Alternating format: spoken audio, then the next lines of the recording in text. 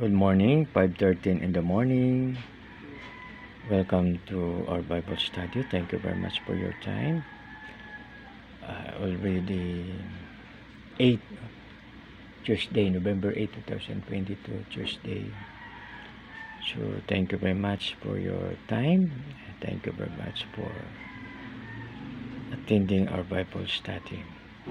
Please permit me to read uh, Psalm 17 for concerning the works of men.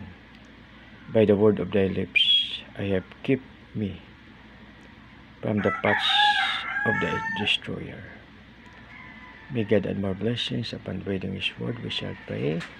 Lord, thank you very much for your loving kindness to each of us. In Jesus' name, Amen. So, my dear friends, also, we should be truthful in our words and we should also loyal to follow the ways of the Lord follow the will of God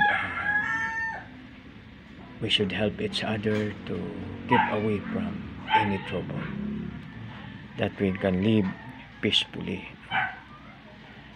So it is good if we are always saying the truth because the, the truth shall set us free and it is also, also good that we'll always obey the will of God or do the will of God and we should strive to keep away from trouble no? so the best way for us to do this is to every morning we should pray to ask guidance from the Lord that we can say what is the truth and also good uh, we will ask God to guide us for us to obey or follow his will and ask guidance to the Lord that we can be away from trouble and we will always go to the paths which God lead us to go. Thank you very much.